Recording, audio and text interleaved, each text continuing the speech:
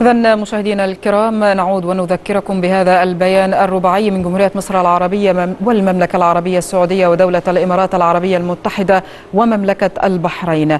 تعلن كل من جمهورية مصر العربية والمملكة العربية السعودية ودولة الإمارات ومملكة البحرين أنها في ضوء التزامها بمحاربة الإرهاب وتجفيف مصادر تمويله ومكافحة الفكر المتطرف وأدوات نشره وترويجه. والعمل المشترك للقضاء عليه وتحصين المجتمعات منه. ونتيجة لاستمرار انتهاك السلطات في الدوحة للالتزامات والاتفاقات الموقعة منها. المتضمنة التعهد بعدم دعم أو إيواء عناصر أو منظمات تهدد أمن الدول وتجاهلها. الاتصالات المتكررة التي دعتها للوفاء بما وقعت عليه في اتفاق الرياض في عام 2013 وآليته التنفيذية. والاتفاق التكميلي في عام 2014 مما عرض الأمن القومي لهذه الدول الأربع للاستهداف بالتخريب ونشر الفوضى من قبل أفراد وتنظيمات إرهابية مقرها في قطر أو مدعومة من قبلها. فقد اتفقت الدول الأربع على تصنيف حوالي 59 فردا و12 كيانا في قوائم الإرهاب المحظورة لديها التي سيتم تحديثها تباعا والإعلان عنها.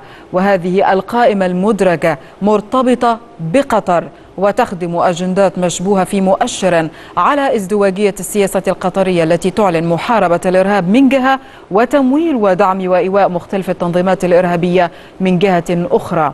وتجدد الدول الأربع التزامها بدورها في تعزيز الجهود كافة لمكافحة الإرهاب وإرساء دعائم الأمن والاستقرار في المنطقة. وتؤكد أنها لن تتهاون في ملاحقة الأفراد والجماعات. وستدعم السبل كافة في هذا الإطار على الصعيد الإقليمي والدولي.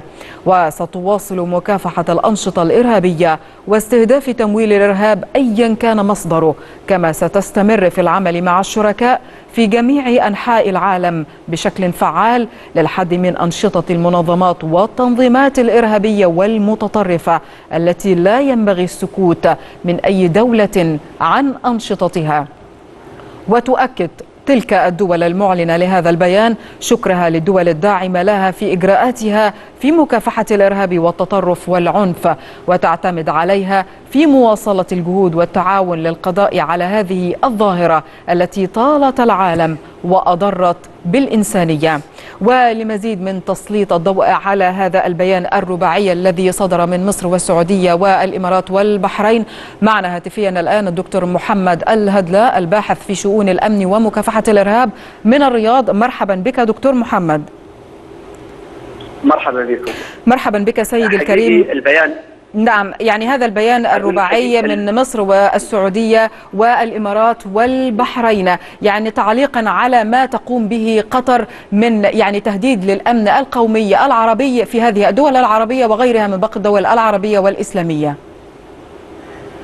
البيان واضح وشافي وكافي وهو استمرار طبعا للخطوات الجريئة والقوية اللي اتخذتها الدول الأربع في مقاطعة النظام القطري الذي أصبح اليوم يمثل العالم ممول الارهاب الرئيسي. يعني لا يختلف العالم كله اليوم على أن قطر تقف اليوم على الإرهاب الذي يحدث في ليبيا ولا الذي يحدث في اليمن ولا على الذي يحدث لدينا في العوامية ولا على الذي يحدث في سيناء. مصر الآن بالنسبة للنظام القطري أصبح اليوم هو اللاعب الرئيسي مع النظام الإيراني في دعم جميع المنظمات الإرهابية، ولا يمكن أن تنجح هذه الدول الأربع التي أصدرت هذا البيان في القضاء على الإرهاب دون دون ملاحقة. من تسبب في هذا الإرهاب من هذه القائمة التي تحتوي على 59 ولا هذه الكيانات التي صنفت بأنها الداعم الرئيسي والملجأ والبؤرة التي منها ينطلق الفكر المتشدد أو الفكر الإرهابي وتمويله. لا يمكن أن تنجح الدول الأربع هذه في القضاء على الإرهاب ما لم تكفت منابعه، منابع بيان واضح وشافي وفيه رموز تسببوا في إزهاق الدم المصري، هنا القرضاوي أكبر محرض في العالم العربي استغل منصبه الديني ومطارد من العدالة المصرية. أصبح اليوم هو المشرع والمفتي لجميع الارهابيه من القاعدة أو داعش أو جبهة النصره بالفعل يعني بالفعل دكتور محمد يعني كان هناك العديد من الأسماء وللأسف يعني معظم هذه الأسماء يعني يعني يختفون وراء ستار الدين. يعني هناك أسماء سواء كان يوسف القرضاوي وغيره من باقي الإسلاميين كالغرياني أيضا صدق الغرياني في ليبيا وغيره من باقي الأسماء الأخرى المصرية ومن الجنسيات العربية الأخرى.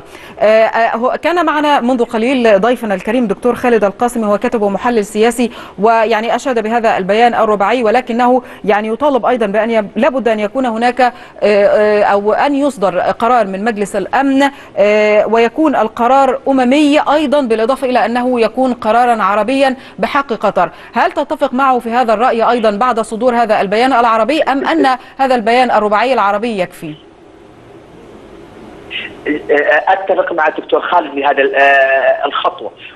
والآن العالم كله يترقب هذا البيان. خاصة أن الدول هذه الأربع هي من الدول المحورية في المنطقة. أتكلم عن مصر وأتكلم عن السعودية. أتكلم عن أكثر الدول التي تضررت من الإرهاب. أن العالم ينتظر هذه الخطوة. يعني من فترة طويلة. وأعتقد أن جميع المنظمات الدولية وجميع محاربين الإرهاب سينضمون إلى هذه الخطوة وسيؤيدونها ويجب أن يتعقب ذلك مطالبة بتسليم هؤلاء الأشخاص وملاحقتهم وأن تكون هذه القائمة تحت التحديد. بمعنى ينضم لها أكثر من شخص فالقائمة قد تطول وقد تطول وهناك أشخاص لم يدرج أسمائهم في هذه القائمة و سيكون لاحقا اسمائهم متواجدة في هذه القائمة نعم. بعد التحديث. نعم، يعني دكتور محمد يعني كان هناك تصريح لوزير الدولة الإماراتي للشؤون الخارجية سيد أنور قرقاش الذي تحدث عن أن يعني قطر تستقوي بالخارج وأنها تطلب الدعم اللوجستي من إيران والدعم العسكري من تركيا، كيف تعلق على هذا التحدي الصارخ للدول العربية الشقيقة لها وتحديدا يعني الدول المجاورة السعودية والإمارات والبحرين؟ الارتماء في أحضان تركيا أو الارتماء في أحضان الفرس المجوس لن لن يحمي النظام القطري، النظام القطري أصبح مكشوفا للعالم وأصبح المحرم وأصبح قائد الإرهاب وأصبح شريك في الربيع العربي وأصبح الآن هو الذي يمول الإرهاب، مسألة الارتماء أو اللجوء إلى هذه تركيا أو اللجوء إلى إيران لن يحمي النظام، فكل هذه الدول متورطة، الآن تركيا قلقة أن لا تكون الخطوة القادمة عليها. تركيا نحن نعرف أن اسمها ورد في أكثر من تحليل بأنها قد تكون خلف داعش وهي من سهل إجراءاته وقد تكون لها يعني يد طولة بدعم المنظمات الإرهابية. فهي الآن انضمامها بالنسبة لانضمامها للدوحة هي تخشى أن تكون الخطوة القادمة عليها.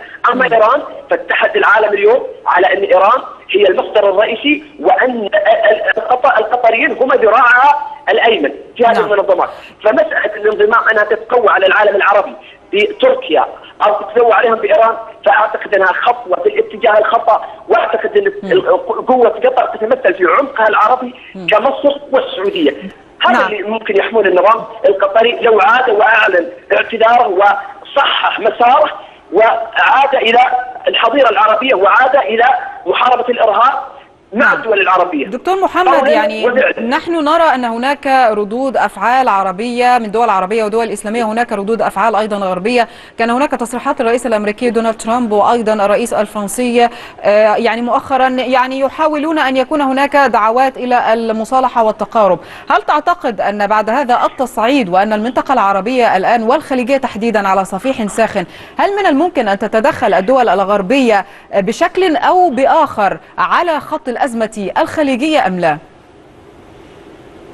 الخط الخطوة اللي اتخذتها الدول الأربع ليس بينها وبين فقط بينها وقطر، قطر. تدعم الإرهاب في العالم، قطر. الآن كل العالم متألب على قطر. هناك تقارير وهناك تسريبات في لندن بأن قطر تدعم منظمات. هناك تقارير في أمريكا وتقارير قدمتها الحكومة الأمريكية لنظيرتها السعودية تثبت بأن قطر تدعم منظمات الإرهابية. فرنسا تحادث رئيس حكومتها مع خادم الحرمين الشريفين مساء البارحة. وذكر بأنه يقف مع السعودية، الكل الآن يقف مع السعودية ومع مصر ومع الخليج كله. في مواجهة قطر بالأدلة القطعية، لدى السعودية تقارير قطعيه وقوية وموثقة وأدلة استخباراتية بأن نظام قطر له علاقة بما يحدث في سيناء وله علاقة بما في التدريب الجيش الحفظ المصري الذي دفع عليه أكثر من 12 مليار، ما مصلحة النظام المصري في النظام القطري في استعداء مصر؟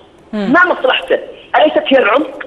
له لماذا يحارب السعودية؟ ولماذا يريد الانقلابات نعم السعودية؟ يعني دكتور محمد يعني عند هذه النقطة يعني في الحديث مع بعض المعارضين القطريين تحدثوا بنفس الحديث الذي تتحدث به الآن. من أين لأمير قطر تميم بهذه القوة؟ ومن أين استمد هذا الضوء الأخضر؟ هناك بعض يعني ال ال الآراء ال يعني لبعض المحللين الاجتماعيين والنفسيين يعني يرون أن الأمير تميم يعني يعاني من حالة من عدم الاتزان العصبي أو التهور أو حالة من الاتزان عدم الاتزان النفسي وذلك وضح جليا بعد انقضاضه على السلطة من أبيه. يعني كيف تقرأ هذه يعني يعني الوصف الذي صدر من قبل بعض المحللين الاجتماعيين والنفسيين؟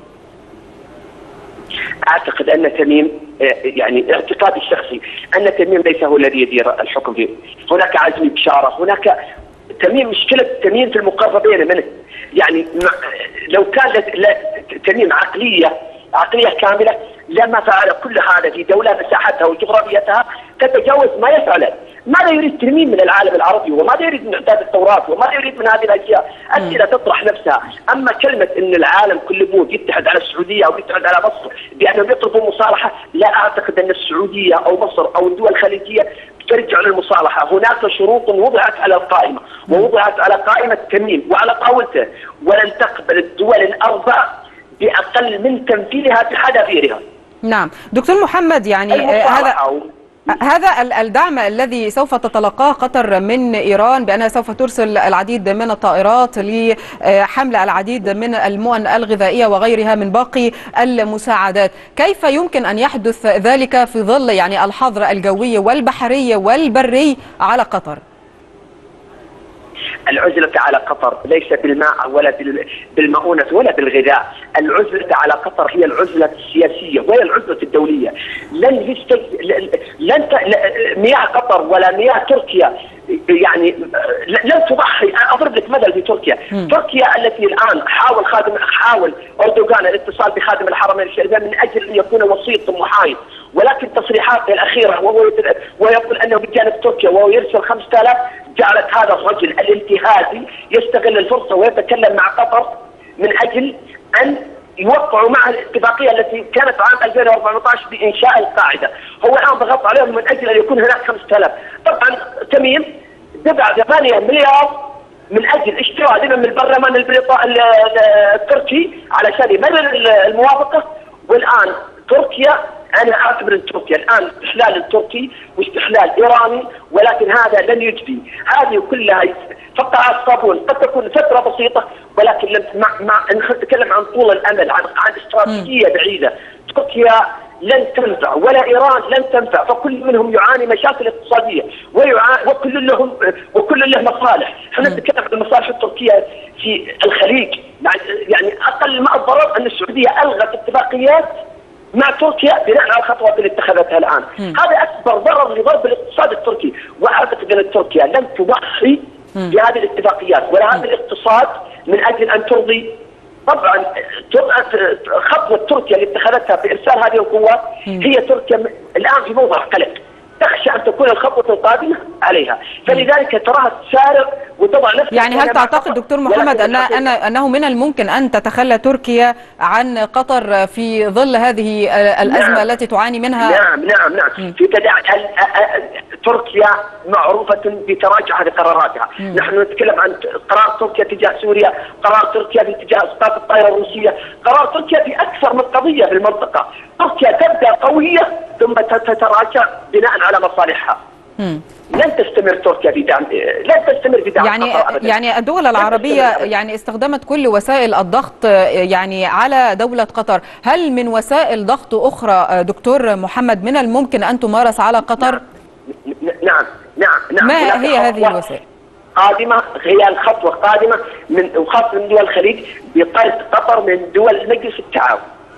هذه الخطوة وهناك خطوة احتمالية أن تكون طردها من الجامعة العربية. نعم. إذا لزم الأمر. نعم وضحت. وضحت هذه النقطة تماما. نشكر الدكتور محمد الهدلاء الباحث في شؤون الأمن ومكافحة الإرهاب. نشكرك جزيل الشكر.